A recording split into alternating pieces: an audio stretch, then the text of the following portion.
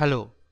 It has been a few days since I appeared the test on KnowMore platform and after waiting for a few days I got this email from them which says don't be discouraged okay now they're also saying in the body that you were so close really only 1% of those who apply get accepted onto our platform you are part of the 99% who don't make it. So they're saying that I did not make it through the first attempt okay? Now they're also saying but there is a uh, there is still a chance your test score wasn't half bad. In fact with a few changes here and there we think you could really have uh, what it takes okay? So they're saying that uh, whatever I did was not too bad but they want to give me another chance. I, I don't know if, if that's how uh, most of the most of the candidates are dealt with. But then let's see.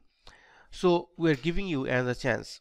Log into your account and review the feedback. Once reviewed you can start a new test. Okay?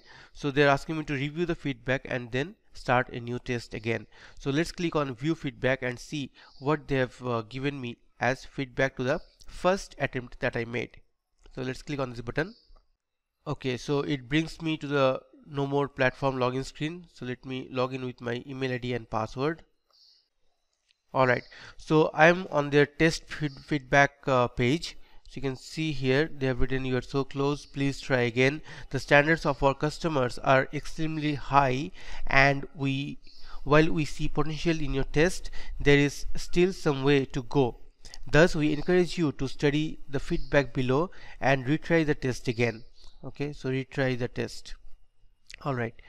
Now test feedback. What are the things? First uh, very nice first try okay? In general please make sure you understand what the slide frame is and fill it as much as possible and fit the content to the slide frame precisely okay? So the slide frame if you remember was the invisible dotted line. Then pay much atten uh, more attention to the fine details of the guidelines okay this I think we need to check again. Understand the content to be able to present it correctly.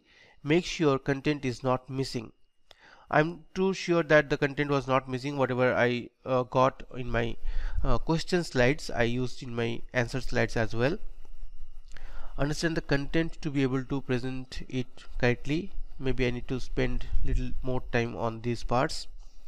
Brush up make sure that you fill the slide uh, side frame with the content and fit it to perfectly its edge that means uh, they, they mean that uh, the content has to be fitted perfectly on the edge of the uh, frames the side frame okay?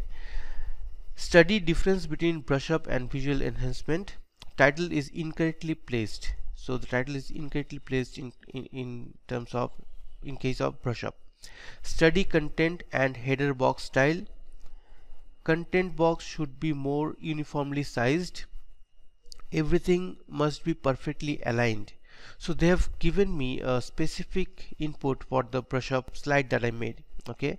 So that is something very good. Now let's go to visual enhancement. Again fill the slide frame perfectly. Do not go outside of it. Study colors of guidelines more study box uh, content box style. Text should be inside colored content boxes not on top separately. Icons must follow style sets in the guidelines. Icon must be svg files not images. So this is something that I agree that I've used icons and images but not svg files. So I need to take care of this you can learn more about all the requirements here. So if you go to practice uh, link you can probably learn more about whatever they have uh, told it here. But I'm very impressed with the very specific guidelines or feedback that they've given. So I'm going to click on this uh, uh, this link or the button here and I'm going to retake the test. So wish me luck again. Thanks for your attention so far. I'll see you in the next video